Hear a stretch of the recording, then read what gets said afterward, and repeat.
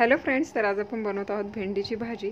भाजी आपण बऱ्याचदा बनवत असतो पण भेंडीची भाजी म्हटलं की बरेच जण म्हणतात चिकट होतो त्याच्यामुळे खायला टाळाटाळ करतात. तर इथेही पाहू शकता एकदम सुटसुटीत अशी भाजी झालेली आहे. कुठेही त्याच्यामध्ये चिकटपणा जाणवत नाही. एकदम साध्या सोप्या पद्धतीने केलेली आहे आणि खूप छान ही भाजी होते. तर रेसिपी स्किप न करता शेवटपर्यंत पहा. अशाच नवीन रेसिपीसाठी चॅनलला सबस्क्राईब करा आणि बेल ऐकूनला प्रेस करा. काही भाज्यांना खूप काही साहित्य न घालता एकदम साध्या पद्धतीने केलं तरी चवीला खूप छान होतात. तर आजची भाजी देखील आहे अशीच. तर पाव किलो भेंडी धुवून पुसून घेतलेली आहे त्यानंतर कापून घेतलेली आहे. एका मोठ्या भांड्यामध्ये ही काढून घेतलेली आहे.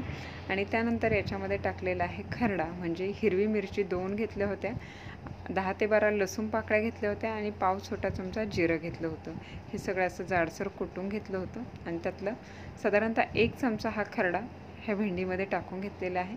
लगेचच चवीपुरतं मीठ याच्यामध्ये ॲड केलेलं आहे. उरलेला खडा खरडा ठेवलेला आहे. त्याचं पुढे बघूया आपण काय करतो आहे ते. तर हे सगळं असं मिक्स करून घेऊया. हा खरडा आणि मीठ असं भेंडीमध्ये सगळं मिक्स व्हायला हवं. तर हे बऱ्यापैकी मिक्स झालेलं आहे. तर मग याच्यामध्ये अजून एक छोटा चमचा भरून तेल टाकायचं आहे. या पद्धतीने. म्हणजे तेल खरडा आणि मीठ चांगलं असं ह्या भेंडीला लागायला हवं. चव जी आहे ना आतपर्यंत छान अशी मुरली जाते. तर आता हे मिक्स करून ठेवूया. किंवा या पद्धतीने असं हे मिक्स करून घ्यायचं आहे. सगळीकडे खरडा तेल मीठ व्यवस्थित लागलं जातं. आता हे मिक्स केल्याच्यानंतर एक पाच मिनिट आपण हे झाकून ठेवणार आहोत आणि दुसऱ्या साईडला लगेचच भाजी बनवण्यासाठी कढई गरम करून घेऊया. कढईमध्ये दीड चमचा तेल गरम करून घेतलेला आहे आणि याच्यामध्ये आता जो उरलेला खरडा होता तो ॲड करायचा आहे. आणि त्या जोडीला टाकत आहोत दोन चिमूट हिंग. तर हे सगळं व्यवस्थित असं परतून घ्यायचं आहे. भेंडीलाही द्या पाहू शकता थोडंसं असा ओलसरपणा आलेला आहे. म्हणजे मीठ वगैरे जे आहे त्याच्यामुळे थोडीशी भेंडी ओलसर झालेली आहे. इकडे हे चांगलं खरडा जो आपण फोडणीमध्ये घातला होता तो देखील चांगला परतून झालेला आहे.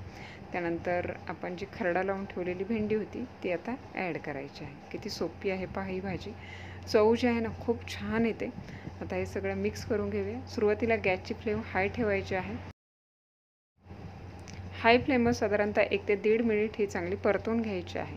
परतून घेतल्याच्या नंतर आता आपण कढईला झाकण ठेवणार आहोत आणि गॅसची फ्लेम मिडियम टू लो ठेवायची आहे आणि त्यानंतर पाच ते सात मिनटानंतर आपण पाहू शकता इथं चांगली अशी वाफ आलेली आहे तर एकदा मध्ये असे हे मिक्स करून घ्यायचं आहे जेणेकरून खाली लागणार नाही.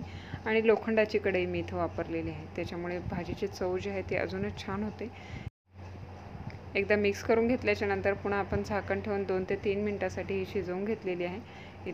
आणि भेंडीला शिजायला फार वेळ लागत नाही आता इथे पाहू शकते. भेंडी पूर्ण शिजली का त्यातला चिकटपणा जो आहे ना तो पूर्णपणे निघून जातो. इथे पाहू शकता अजिबात चिकट ही जाणवत नाही. एकदम सुटसुटीत अशी झालेली आहे.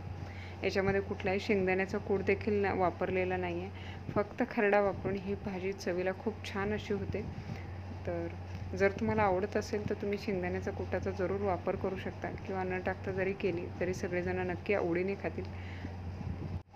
तर आहे की नाही बनवायला एकदम सोपी एकदम सुटसुटीत आणि फडफडीत अशी ही भाजी झालेली आहे. कुठेही त्याच्यामध्ये चिकटपणा जाणवत नाही आणि मुलं देखील खूप आवडीने ही भाजी खातील. तर रेसिपी आवडली असेल तर रेसिपीला लाईक करा कमेंट करा शेअर करा आणि अशाच नवनवीन रेसिपीसाठी चॅनलला सबस्क्राईब करा बेल आयकॉनचं बटन प्रेस करा.